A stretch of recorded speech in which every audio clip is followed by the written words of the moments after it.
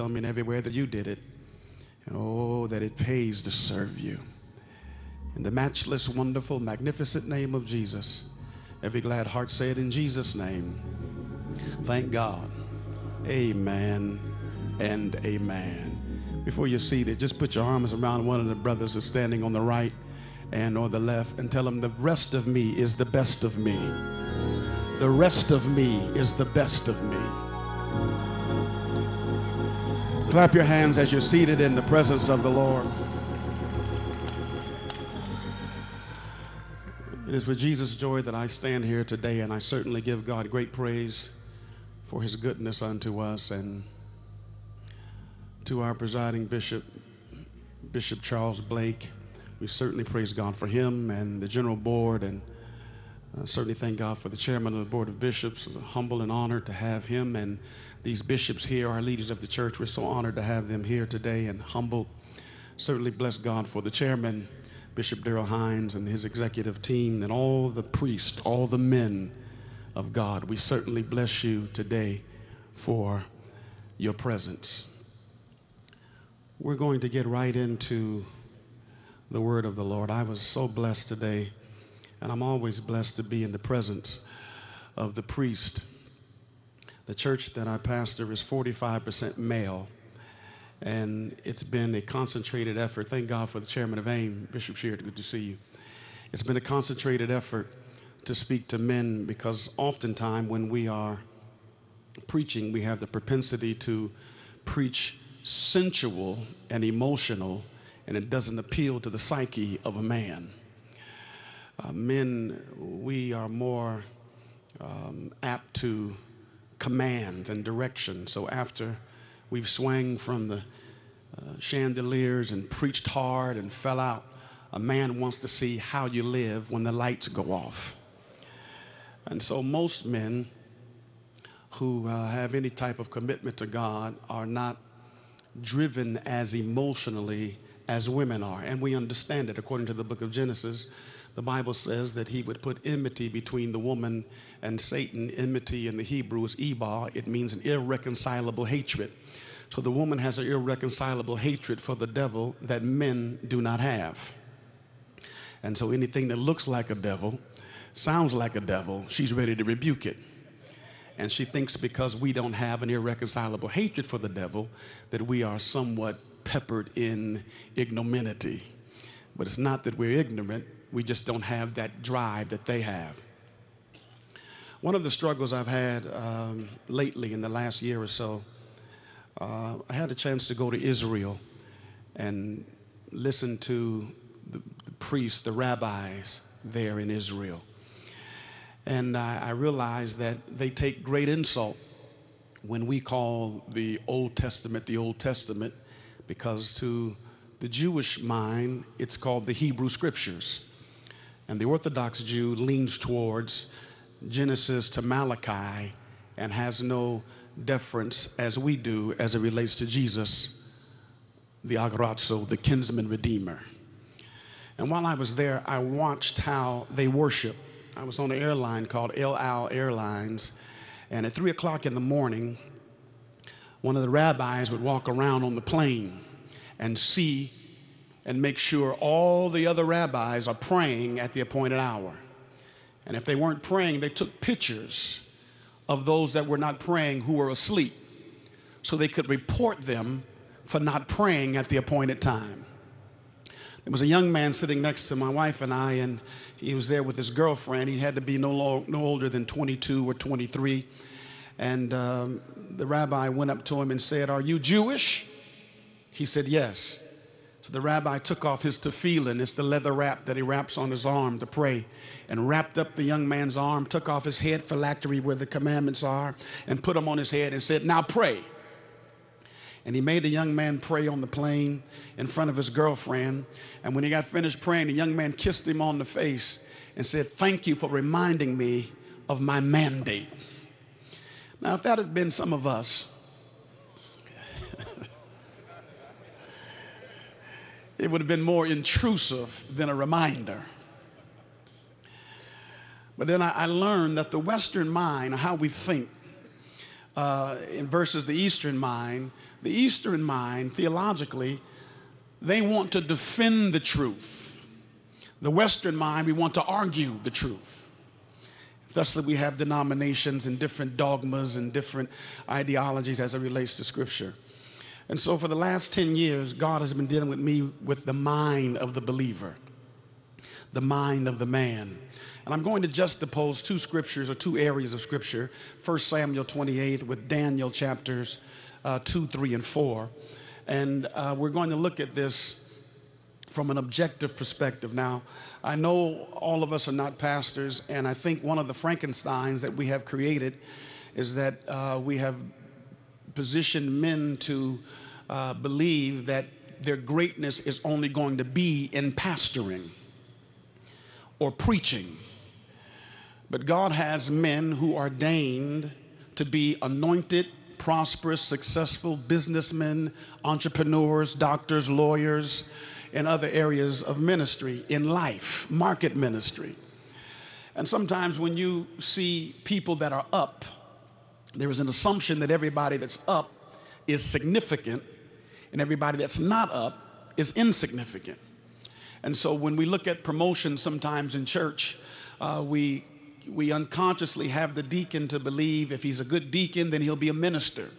And if he's a good minister, then he'll be an elder. If he's a good elder, then he'll be a pastor and we use the positions of the scripture as stepping stones to the next level. But Stephen died a deacon. And what happens, there's, there's more of an affinity to the construct of, of, of ascending positionally and not so much in being who you are. And so, what happens now, we contend and we size each other up. The way we talk to each other, we basically ask you the next line that we say after we say, Who are you? We say, What do you do? Because we measure ourselves by our productivity. Now, in 1 Samuel chapter uh, 28, 1 Samuel chapter 28, there's a story of a familiar story of a king uh, by the name of Saul. Now, Saul's position is, is unusual because uh, he was re- really not um, called of God per se. He is the answer of Israel's prayer because they wanted a king and they wanted to be like other nations. And God had already informed them that if you desire to be like other nations, you're going to have a man over you who can be gifted and flawed at the same time. And so, at any rate, they, they got what they asked for and they got this King Saul. Now, it's interesting if we were to back up to the book of Leviticus, you see that there was no oil at the time.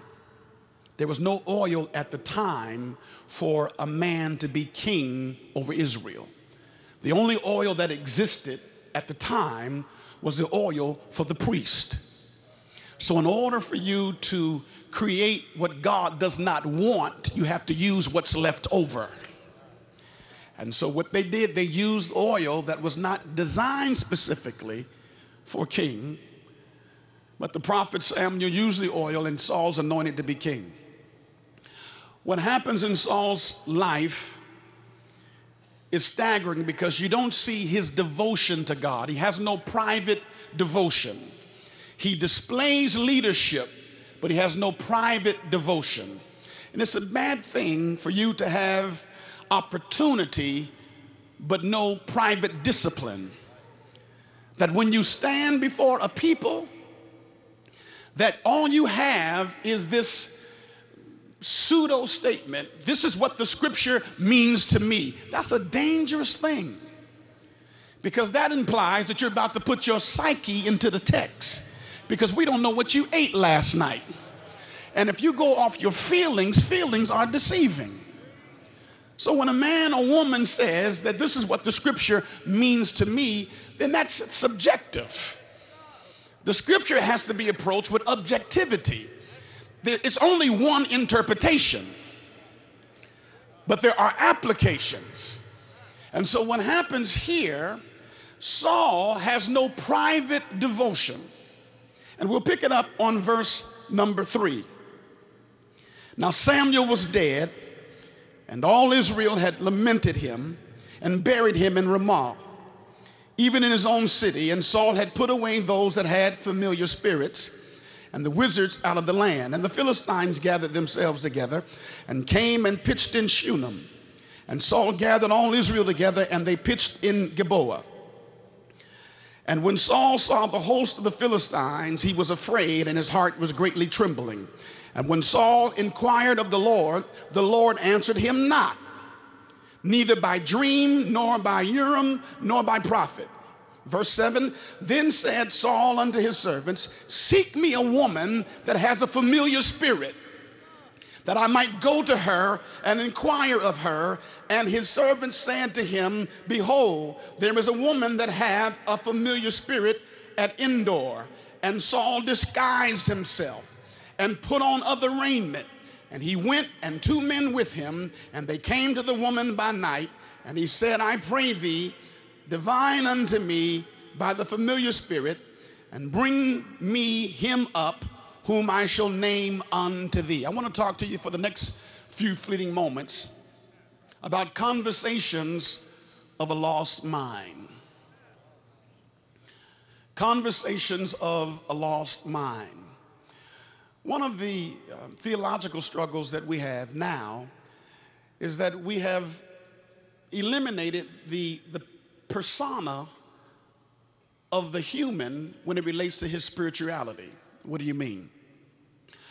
It's either God or the devil, but it's never you. And it can't be just God or the devil because you're there somewhere. And there's some things that you do and I do that are not unctioned by God nor influenced by the devil.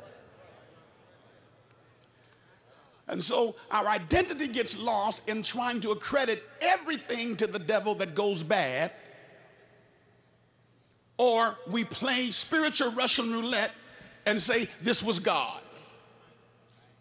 That's a dangerous thing because what it causes you to do is to abandon your self development.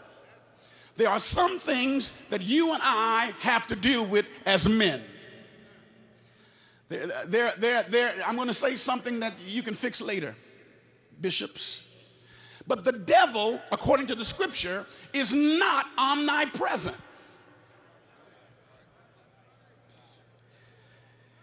If the devil is in Washington, he cannot physically be in Baltimore or, or, or, or Buffalo. I, I, know, I know. You, going to have to fax an amen from Buffalo, but I, I, I know because see what happens, we have forced our psyche into the text and we put the devil everywhere. But he's not everywhere. He has limitations on where he can be. That's why he has demons, oh God, and devils. So if if if the devil is not everywhere, then what's going on? Then why why am I making some bad decisions? Because we haven't really developed our spiritual intelligentsia. When you look at Galatians, the scripture talks about the works of the flesh. We have prayed over people who had fornication spirits and adultery spirits. But Galatians says these are works of the flesh. And if it's a work of the flesh, it's your obligation to tell your flesh, down, boy.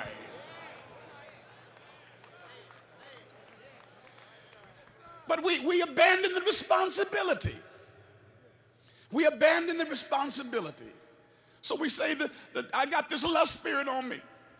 Pray for me. I got this lust spirit for me. Then when you get married, you're looking for that lust spirit. Eh, can you see it? I rebuked it last week. It's a work of the flesh. So watch what happens. The scripture says Saul summed up a familiar spirit with a witch from Endor because he didn't have devotion with God. The prophet Samuel is dead. He doesn't have a connection with God. He's not known for talking to God. He doesn't know how to tap into the spirit realm legally. So he goes to the witches whom he had cast out four chapters earlier. Now he's trying to get some help because he's in a position with appointment but no anointing and no sanction because he does not have God's voice speaking in his ear because God's voice, Samuel, is dead. And he disguises himself. You know you are psychotic when you call for what you want and you disguise yourself from what you're trying to get just so it can talk to you and not know who you are.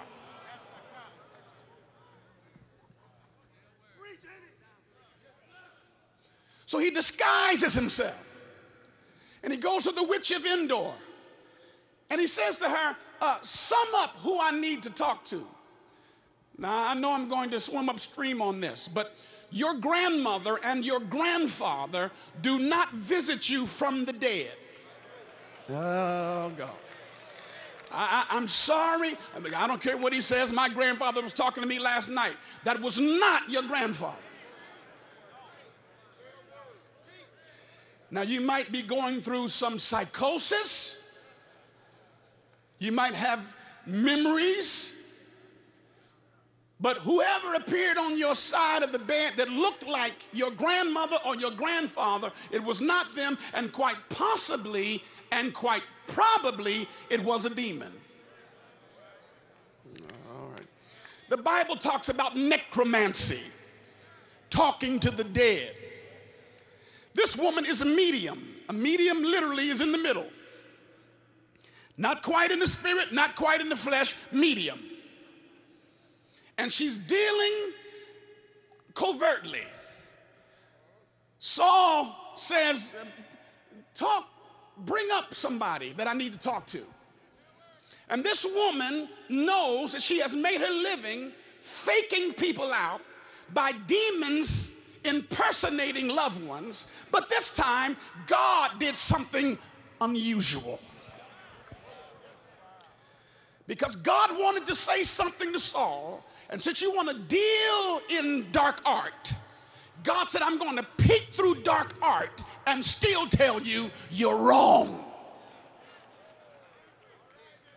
And while she began to work, the scripture says in, in 1 Samuel 28 that God allowed Samuel to appear. But Saul never saw him. If you read the text, Saul didn't see him, the witch saw him. And the witch practiced what's called prattling, P R A T T L I N G. It means to mumble. In other words, when she was talking to Samuel, Saul didn't understand, and all he heard was. He said, What did he say? She said, Well, there's somebody here with a mantle and a beard. And, and uh, he said, That's Samuel. Even the witch can talk to the prophet. But you're in such a place of disobedience, you can't even hear from God. But you're the king. It's a dangerous thing to be the king and don't worship. Because if you do not celebrate, you become the celebrity. And it's dangerous when you get an acute case of amnesia and forget it was God's hand on your life that got you into the position that you are. You cannot ever stop worshiping. That is your constraining factor that keeps you balanced. Touch somebody and tell them there's someone greater than you. I don't understand the, the, the, the, the psyche of some men who can't celebrate other men. It doesn't take anything from you to celebrate another man. Not at all. But what happens, and I agree wholeheartedly what was said earlier, what happens as we tend to grow in God, we don't spend time to develop interpersonal relationships. And as a result, we live as islands and we don't have people in our life close enough that we can have accounts and balances. This is why it's dangerous to be an independent church. It's dangerous to be independent because you have no accountability. And if everybody that's around you needs you, you can't be accountable to them. You know, I can tell where a whole lot of you brothers are going today without even going into prayer if we just look at your cell phone. The people in your cell phone will give us revelation where you're going. The folks that are connected to you will tell us where you're going. And some of you need an anointing to delete a few people.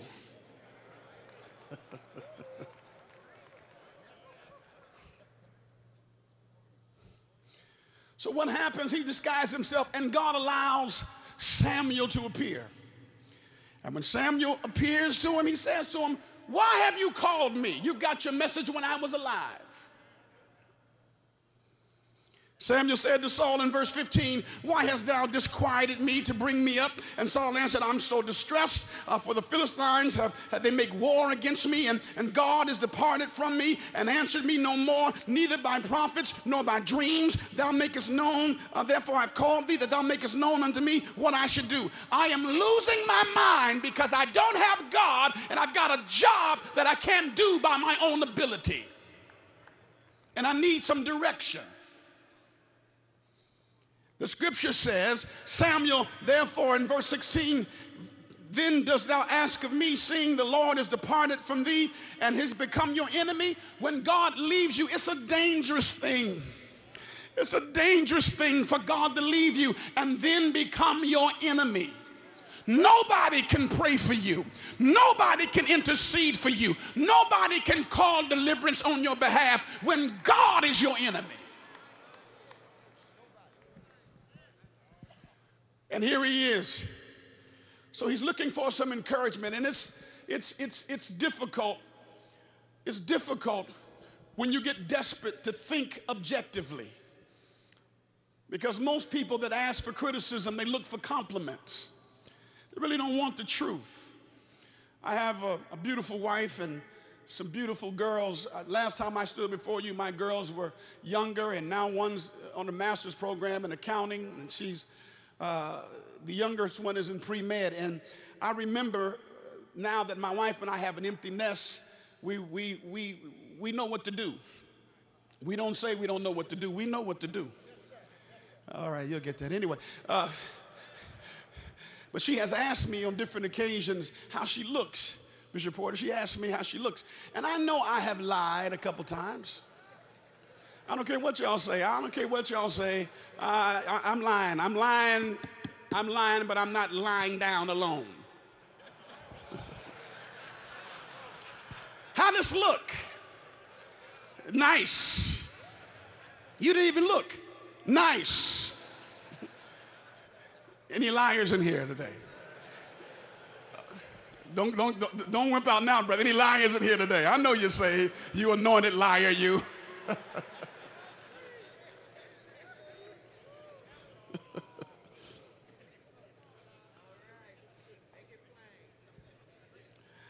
Samuel tells him, Because you obeyed not the voice of God,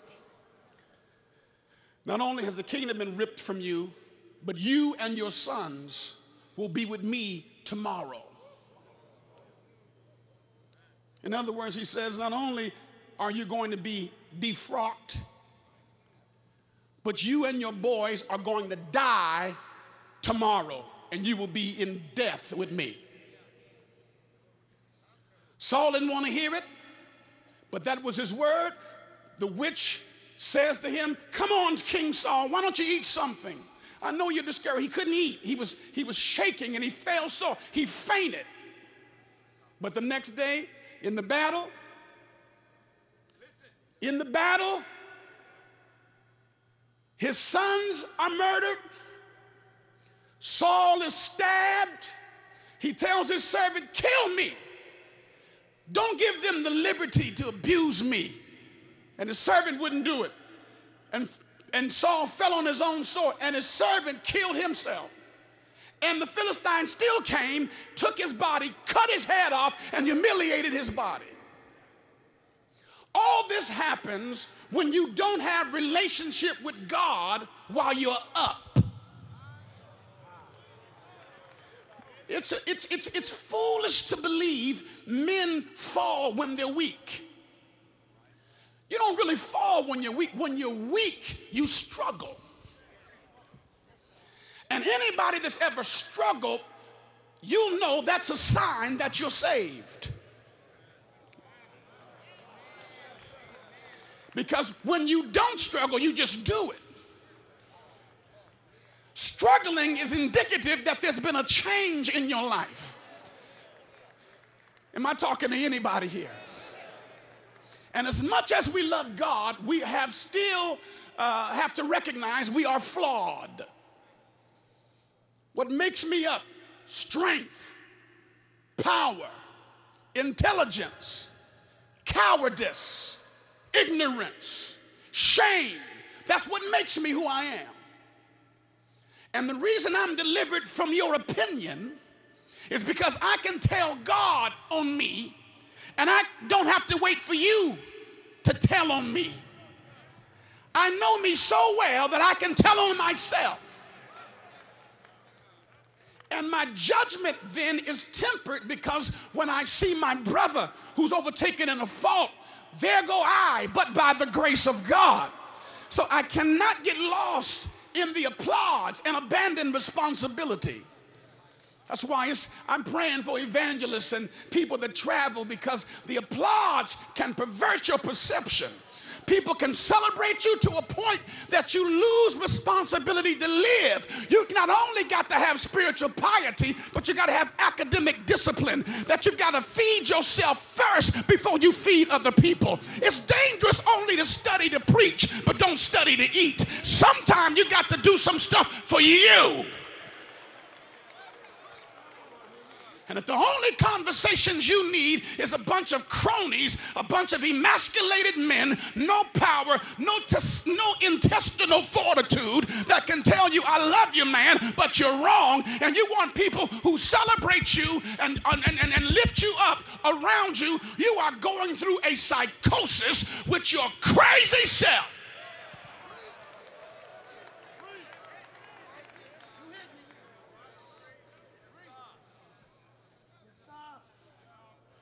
Conversations of a lost mind. What if I only pray because it's my turn? Who's doing the prayer, Doc? Who doing the prayer, Doc? Well, I'm gonna go ahead and pray. You don't pray privately. And if you don't pray privately, you'll get no public display. Now, let me help you. The scripture says, if a brother be overtaken in a fault, not everybody, but ye which are spiritual. My Buffalo brothers, thank God for you preachers. Love you.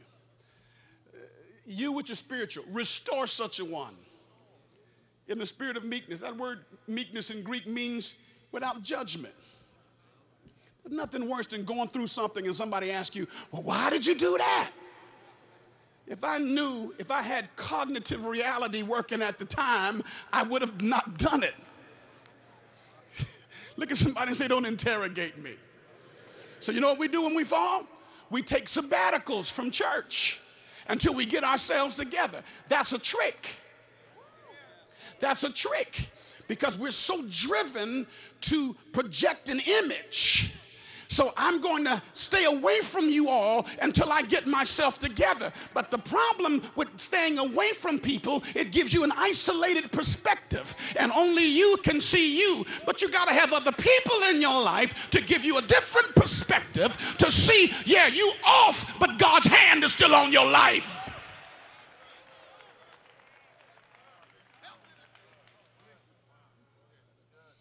It's amazing to me and our drive to be, Dr. Amos, theological,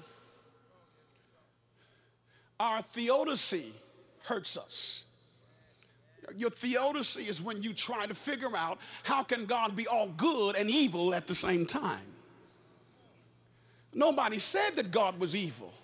But what happens by our choices, we assume every choice we made that's wrong, the devil it was the devil. Devil didn't give you the, the, the, the, the, credit card to, to get the room.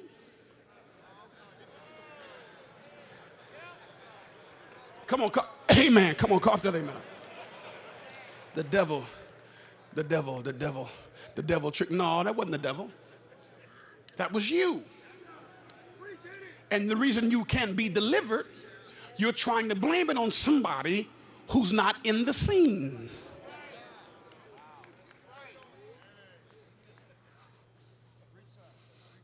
Conversations of a lost mind. Saul did not pray, had no private devotion, but he had public adoration. But when the lights went out, he was psychotic. He was insane. How do we get to this place? I've been places and I, I, I, I, seen a lot of people. And, and one thing that bothers me when I talk to people who are pseudo spiritual, fake, Every other word, praise the Lord, hallelujah, praise the Lord, hallelujah, I pray hallelujah. We on the golf course.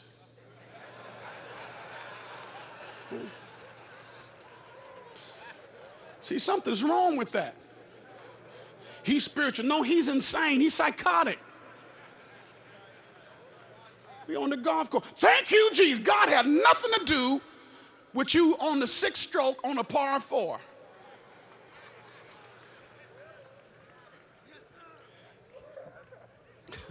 Ooh, y'all look mad and hungry. Let me hurry.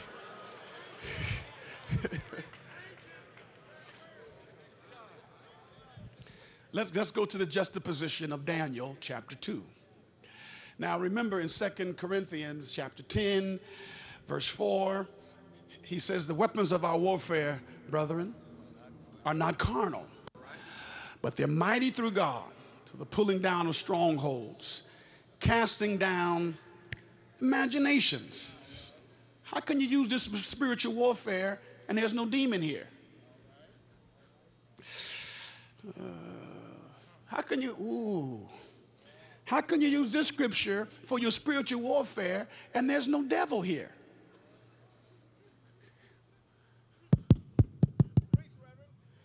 He says, casting down imaginations. I got to put in check what's going on in my mind and bringing every thought into captivity. We got to deal with the mindset here. But if we keep saying it was the devil, it was the devil. Now, granted, he does exist. But when, when granddaddy died, the devil didn't kill him. It was pork chops, fatback, chitlins, too much. See, all right, y'all okay, okay. See, so it becomes a mindset. He says in 2 Corinthians 10 4, the weapons of our warfare are not carnal, but mighty through God, that are pulling down strongholds, casting down imaginations, and bringing every thought into captivity and obedience of Christ. So I've got to deal with my own thought life. Now, an experience is based on a web of facts and feelings. That's how you have an experience. The ingredients of an experience is a web of facts and feelings. Now, pending on the facts, and pending on the feelings, it will determine what kind of experience you have. There are some women who think that you are uh, uh, uh, the guy she wants to marry. And everybody is telling you, man, that's a good woman to marry, and that's a fact. She is a good woman. But the problem is, you ain't feeling her. So you need to marry her. That's a good woman. And you're absolutely right. That's a fact. But I don't get goo goo gaga when I look at her. Uh, God. And so if you impute on me your facts and I don't have the right feeling, we're going to have a bad experience. And contradistinctively, if they tell her, that's a good man, you ought to settle for that.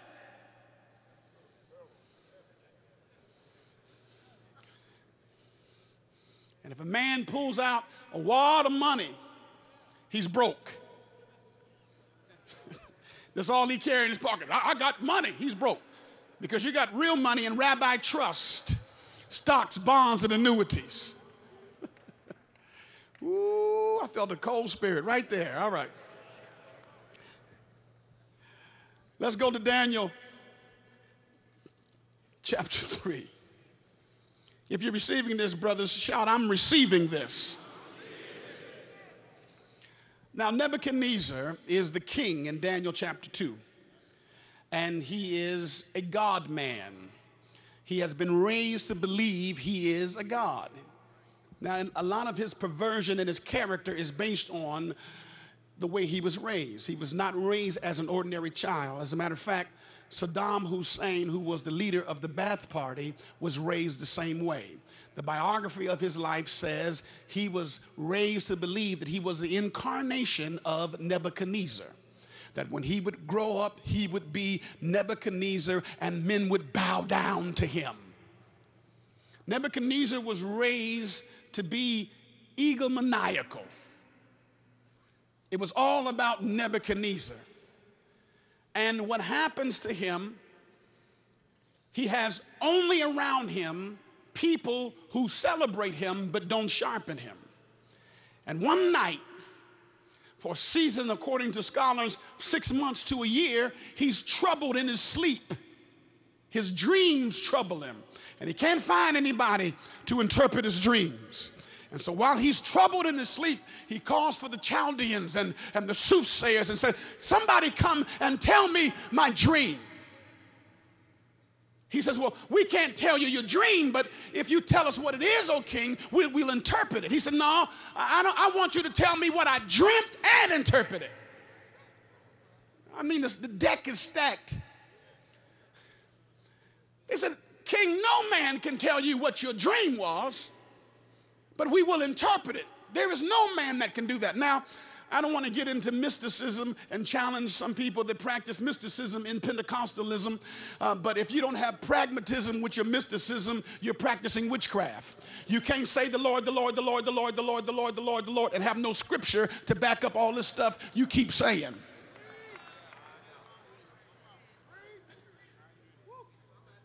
And so, what happens here, Daniel happens to be in this area. And Nebuchadnezzar says, I want somebody to interpret my dreams. Now, people have made a living off of interpreting dreams in 2011. And every dream you have is not godly inspired and not demonically influenced. The Bible says, by the multitude of business, dreams come which means you can have something on your mind and be preoccupied with something all day that inevitably you'll dream about it that night. But here he says, I want you to interpret my dream. Tell me what I dreamt and tell me what it means. We can't find anybody. So he said, There's a guy, there's a guy, there's a guy, there's a guy, uh, Daniel, he, he, he can do it. Daniel interprets his dream, but because Nebuchadnezzar is psychotic, he thinks it's all about him. Have you ever talked to men who tell you all about them and never inquire about what you got going on? Never ask about your wife, your family? It'll get better in a minute, just hold on. Because we got to deal with the mind. Nebuchadnezzar has Daniel and the three Hebrew teenagers in his camp Shadrach, Meshach, and Abednego. And after Daniel interprets the dream, they get promoted. But Nebuchadnezzar forgets because he too has no private devotion, no private worship. And they put out a decree and said, Listen, we don't want Daniel and the Hebrew boys having favor. And it's difficult when people don't like you, but they need you. And you got to let God use you when people don't even like you. They pass a decree, and the decree says, at the sound of the sackbut, the dulcimer, the harp, the timbrel, I want all the governors and the rulers of the province and the princes to bow down and worship this image that I have made of myself. Well, when Shadrach, Meshach, and Abednego and Daniel would not bow. One ends up in a den of lions, and the other's in a fiery furnace. But Nebuchadnezzar has reservations. And he asked, Is it well with you, Daniel? Is it well with you? He said, It's well with me. Daniel's delivered. You know the story. Hebrew boys have a fourth one in the furnace. They have delivered. But here is the kicker. By the time you get to chapter 4, Daniel interprets one more vision. Now, I understand what it means to be a godly man, biblically. I see the template, and I'm trying to be the best man I can be. It's got to be God first, your family, then church. And church cannot be your wife. And your family should not be a casualty of the war and your devotion to church. Here we go. Daniel chapter 4.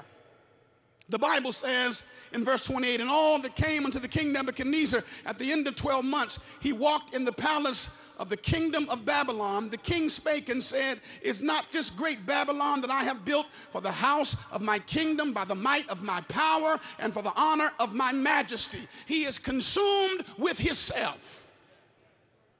He's measuring himself by his statue, by his accomplishments, by his home, by his, his, his, his investments. He's measuring himself by this. Now, this man is afflicted. And according to James 5, in context, when he says, Any sick among you, let him call for the elders of the church. Any afflicted, let him pray. The affliction in James 5 is not physical damage or physical bodily pain, it's psychological. How? Because the scripture says, Any sick, let him call for the elders. If you're afflicted, you should pray. So it means you can have something on your mind, but it will not inhibit you from talking to God.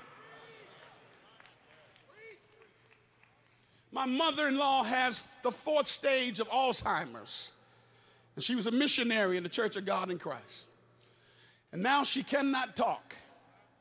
And she played the piano. And we would go to the nursing home to see her. And she just mumbles. But if we say anything about Jesus, Jesus touches her parasympathetic nerve that part of her that belongs to God no matter what. If we start singing, Yes, Jesus loves me, her hand goes up. If we say the name, she shakes her head. Doesn't matter how lost you may be in your mind, if you had any kind of experience with the name, oh God, we would say, Jesus, Gummy, we called her Gummy missionary. Jesus. She said, hey. Because there are places where only he can reach. And that's why we have to stop judging each other, brothers, on a moment. If I've, if I've fallen, I'm not lame, I've just failed. And we do have some issues to deal with. I'm almost done. I'm almost done. Preachers, sit down, please. this is what he says. Verse 31 of Daniel chapter 4. If you have it, say amen. Let's read it in concert. Ready? Read.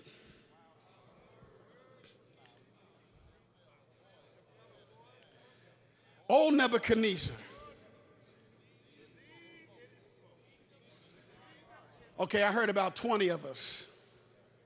That's pitiful. Let's try it again.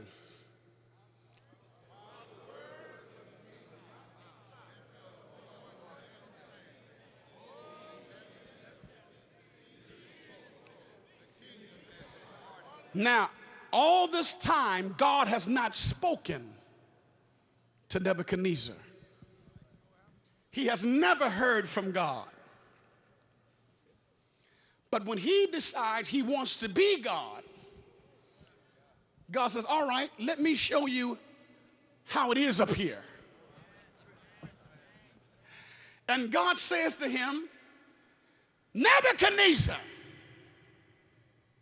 The kingdom is departed from you, and they shall drive thee from men. Watch now, and thy dwelling shall be with the beasts of the field. They shall make thee to eat grass as oxen. Seven times shall pass over thee till thou know that the Most High ruleth in the kingdom of men and giveth to whomsoever he will. The same hour, verse 33 was the thing fulfilled upon Nebuchadnezzar, and he was driven, he was driven from men and did eat grass as oxen, and his body was wet with the dew of heaven, till his hairs were grown like eagle's feathers, and his nails like bird claws. And at the end of the days of I, Nebuchadnezzar, lifted up my eyes unto heaven, and my understanding returned unto me, and I blessed the Most High, and I prayed and honored him that liveth forever, whose dominion is everlasting dominion, and his kingdom is from generation to generation. How did you know that when you were out of your mind, Nebuchadnezzar?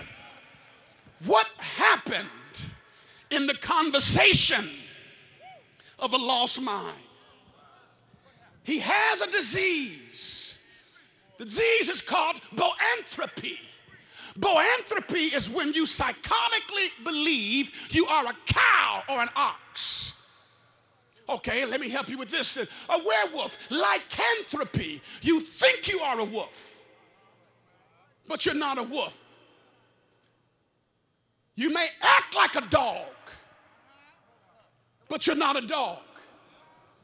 But this situation, God has touched Nebuchadnezzar and he has lost his mind. He's out of his mind, but God is not out of his mind. Oh, I wish I could preach this like I feel it. He is out of his mind, but God is not out of his mind. That's why you don't never know who God is going to redeem, whom God is going to give another chance. Some of us are past the second chance. We're just riding on another. You don't know who God is going to raise up while we write them off. God is saying, I'm here with you in the dark, but it's not your time to manifest. It's not your time to come forth. We're going to have a conversation in this lost place in your mind. Nebuchadnezzar says, as I close, Nebuchadnezzar says, While I'm out of my mind, eating grass like an ox, Bishop Sheard, eating grass like an ox, feathers growing out, my nails like eagle's claw, I stink. They're writing me off. Now, God finds me. And I'm eating grass in the field. I have no company, but I talk to myself. And your best conversation is with you. Nobody can take you to God like you can take yourself. We'll bring you on a G rated prayer, but you got some R rated stuff going on in your life. You can talk to God about you. Nebuchadnezzar, I love what he says. I love what he says. He says this. He says, he says in verse 84, I, Nebuchadnezzar, thank you, Jesus, lifted up my eyes unto heaven, and my understanding returned. I looked up. God said, I've been waiting for you to look up for seven years. Your problem, you became, you moved from your id, which is part of your ego, which helps you understand your super ego. What do you mean? Your id is what a baby has. You don't care about other people. You just want to get yourself satisfied. When you re- when you live off your id, you are immature. You don't care who it hurts. You don't care who's hurt by it. You just want to get what you want. That's called the id of your psyche. But then you have what's called the ego. The ego is what makes you get out of bed and go to work. Not because because you love the job, but you got responsibilities. And so I need my ego to roll me up out of the bed. I don't care how long I was up last night, my ego's got to shake me and tell me, get up and go to work.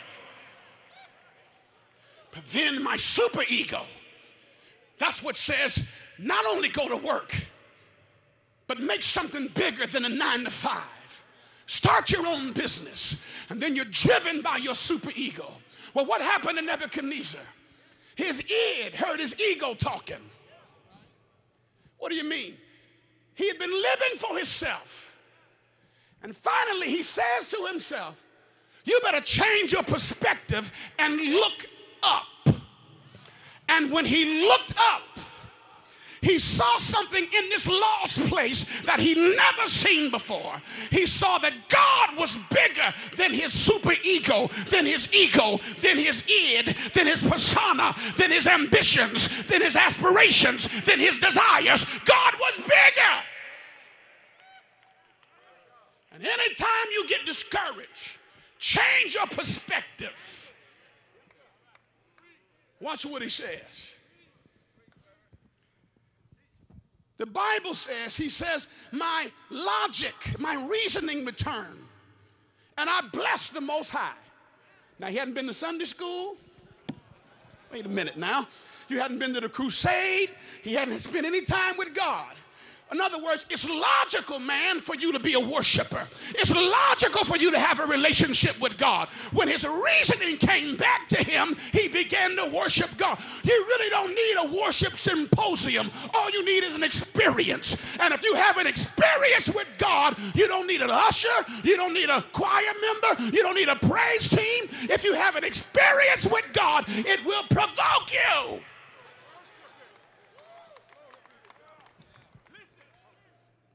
Watch what he says. Now he's still talking to himself. How could you say that, Pastor Hennings? Because he's speaking in the first person. I, Nebuchadnezzar. Who are you talking to, Neb? He says, I, Nebuchadnezzar, lifted up my eyes unto heaven, and my understanding came back to me, and I praised and honored him, the Most High, that liveth forever, whose dominion is everlasting and his kingdom is from generation to generation. Now, watch what he says. And all inhabitants of the earth are reputed as nothing, and he doeth according to his will in the army of heaven. Talk, Nebuchadnezzar. And among the inhabitants of the earth, and none can stay his hand or say unto him, What doest thou? Listen how this man is talking who's out of his mind. He has learned that God is in control. And when you think you're God, you're getting ready to mess up. He that humbles himself shall be exalted. He that exalts himself shall be made a base. Here we go. This is the clincher statement. He says in verse 36 At the same time, my reason returned unto me, and for the glory of my kingdom, and my honor and brightness returned unto me, and my counselors and my Lord sought unto me, and I was established in my kingdom. Now you got to understand, he just went into a, a dis- dissertation here because he has been out of his mind for years, but he finds God in the field. Sometimes you can't find God in comfortable environments. But he finds God in the field, and when he gets his reasoning back, the Bible lets you see that his servants come to him. He looks like an ox, he's funky, he stinks, but he's still their leader.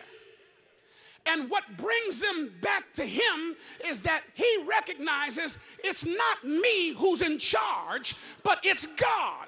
And when they see that he is a worshiper, when they see he's a worshiper and he's giving something glory that's bigger than him, then they come to him. Last verse.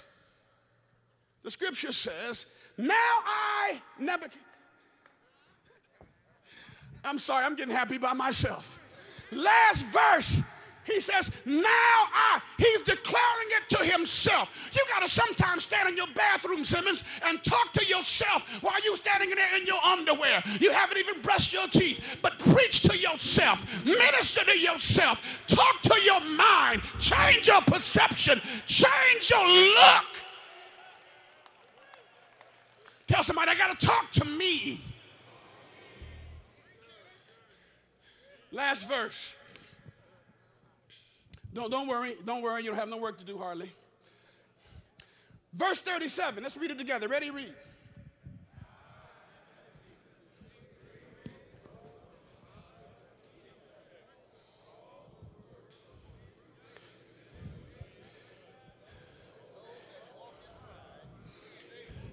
Okay, let me read it for you because I heard y'all. Uh, pride, uh, the heaven. Uh, now I, Nebuchadnezzar, I praise and extol and honor the King of heaven, whose works are true and his ways judgment, and those that walk. Now listen, he says, and those that walk in pride, he is able to abase. What's the moral of the message? The moral of the message is you can be in a situation, sitting in a lost place, having a conversation with yourself.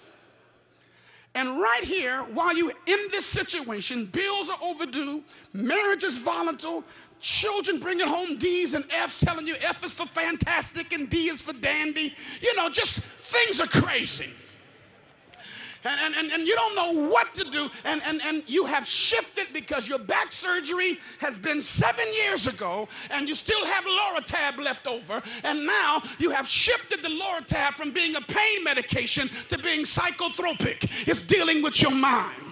I don't know what he's talking about. Oxycontin, NyQuil, and your cold has been over for six weeks, but you're still drinking NyQuil. Something is wrong with your mind. But in the midst of it, in the midst of it, in the midst of a lost mind, I got to have a conversation. I got to have a conversation. What is the conversation? He said, if you're afflicted, let him pray. I can talk to God while I got all this hell going on. I can still talk to God. And once I talk to him, he'll make you start praising. The scripture says, He said, I will praise thee. Nobody taught him how to praise God, but praise will bring your mind back. Praise will bring your mind back when you're about to lose it, when you're about to have a nervous breakdown, when you're about to do something crazy, lift your hand, open your mouth, and give God glory and praise will bring your mind back. I don't believe it. Ask David. David said, while he was messed up with thorns and thistles and grass and his hair is matted. And he came across a group of people that were in debt and greatly distressed. And they thought he was just like them. But David said, I've been through the same thing you've been through, and I know how you feel, but I had a conversation in my lost mind. And since God has dealt with me, even though I look bad, he said, I will bless the Lord at all times.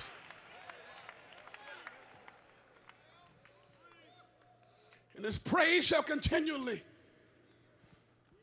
be in my mouth. Then he says this He says, The humble, hurting people, men who are fragile, things are on the nerve, on the edge of breaking.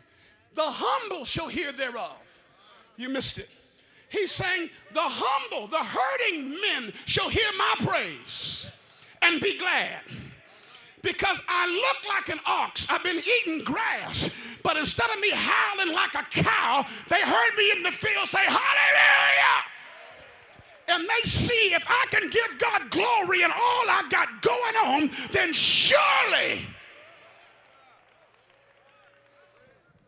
conversation of a lost mind. Let's stand. Well, you're already standing, but let's stand.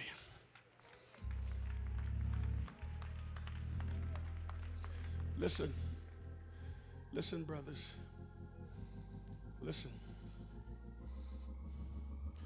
The conflict is not always demonic. Sometimes the conflict is psychological, sometimes it's emotional. People want you to be grateful for what you got going on. If I had your hand, I'd be praising God. But they don't understand there's more to you than what they see. That's why you can't judge my trial. You don't, you don't know what proclivity I struggle with. You don't know, even though I have a job and I got a home, I got